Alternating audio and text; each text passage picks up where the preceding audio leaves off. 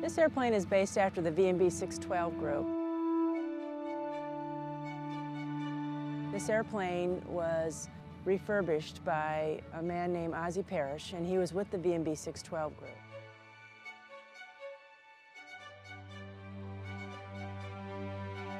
They had gone on 22 missions. In those 22 missions, she had downed three merchant ships and one imperial ship. Went out on her 23rd mission and never came back.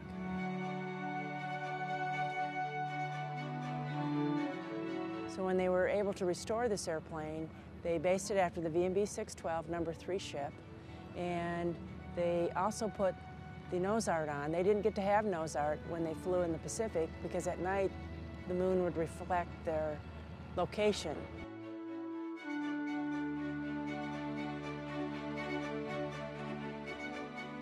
They were in Iwo Jima and Okinawa. They did a lot of islands in the Pacific.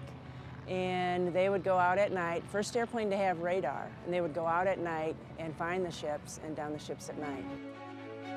They could carry 4,000 pounds of bombs, and they carried rockets and could carry one torpedo. So they were pretty powerful and pretty, pretty successful in their missions.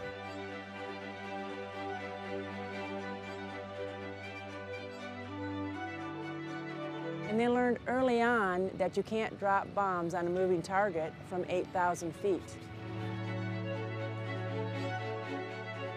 So the Marines learned to skip bomb, and they would come 20 feet off the water right at those ships, pull up and skip the bombs into the ships.